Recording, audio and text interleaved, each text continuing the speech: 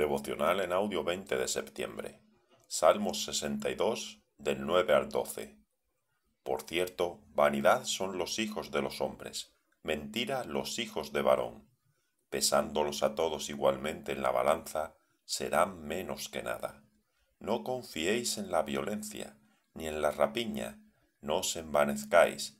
Si se aumentan las riquezas, no pongáis el corazón en ellas.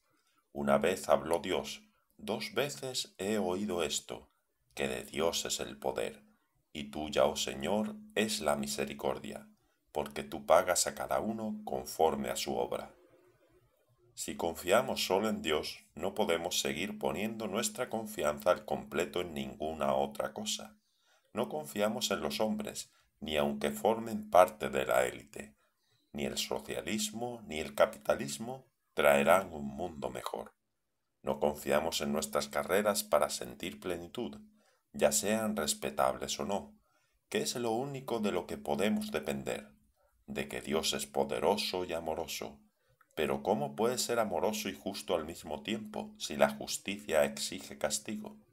Dios pasó de largo la exigida sentencia de muerte por nuestro pecado y luego llevó el castigo él mismo en la cruz.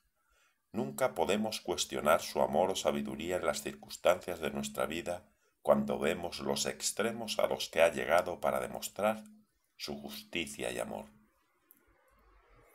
Señor, ayúdame a prosperar en mi trabajo, pero no permitas que los altibajos de mi carrera tengan poder sobre mí.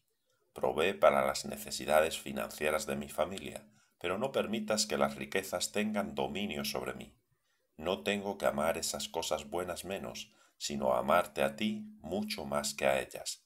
Dame la libertad que viene solamente de amarte intensamente.